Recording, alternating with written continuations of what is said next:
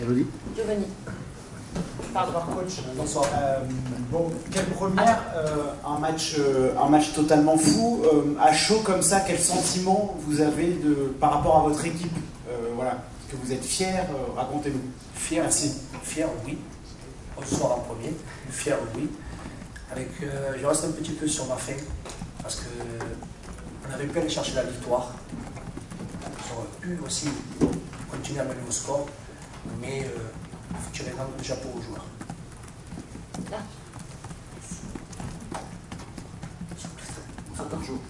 À 2-0, quel était euh, votre état d'esprit Est-ce que vous vous êtes dit, euh, voilà, ça va être compliqué Racontez-nous un petit peu euh, comment vous avez vécu cette soirée qui était quand même la première aussi pour vous euh, à ce niveau.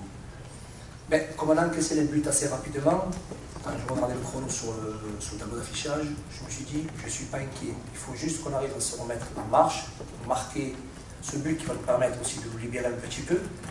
Et quand on a, a marqué ce premier but, je me suis dit, notre équipe va faire ce qu'il faut. C'est le sentiment que j'avais quand, on a- quand on a marqué le premier but. Michel. Euh, Est-ce que tu t'attendais à un tel scénario? Parce que bon, c'est parti de tous les côtés.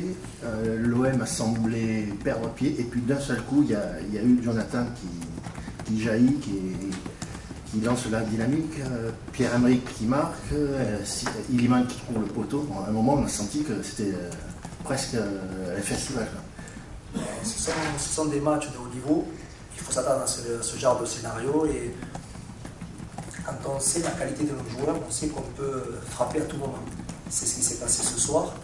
Donc euh, oui, euh, c'était un match fou. Mais tout en contrôlant aussi, je pense moi, contrôlant le match, parce que dans la possession, on était bien. On n'a pas paniqué avec le ballon. Et, et je trouve que c'était un, un bon match des deux côtés. Bonsoir coach. Euh, L'équipe a affiché beaucoup de sérénité presque parfois avec le ballon, ce qui tranche un peu avec le contexte du club. Comment étaient les, les joueurs euh, dans le vestiaire avant, à la mi-temps et là pendant le match euh, On attendait de voir comment ils allaient aller tout simplement et ils avaient l'air de plutôt bien se porter.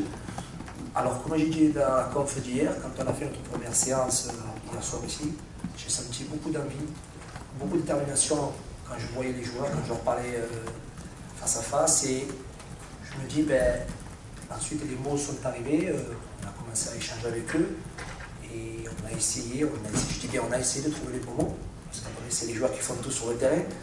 Mais comme vous dites, on a, on a senti une sérénité des joueurs. Moi, j'étais pas inquiet, sincèrement.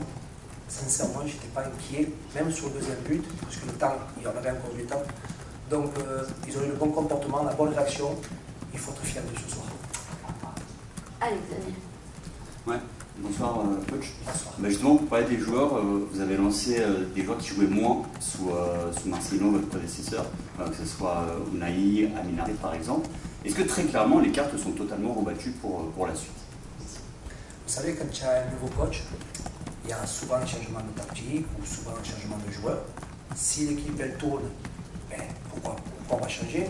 Mais quand on voit qu'on a un petit peu de souci, euh, dans- surtout dans la conservation de balles, et qu'on a de, très bons joueurs pieds, que ce soit Una et Anouk, il faut en profiter. Et ce soir, ben, ils ont répondu présent.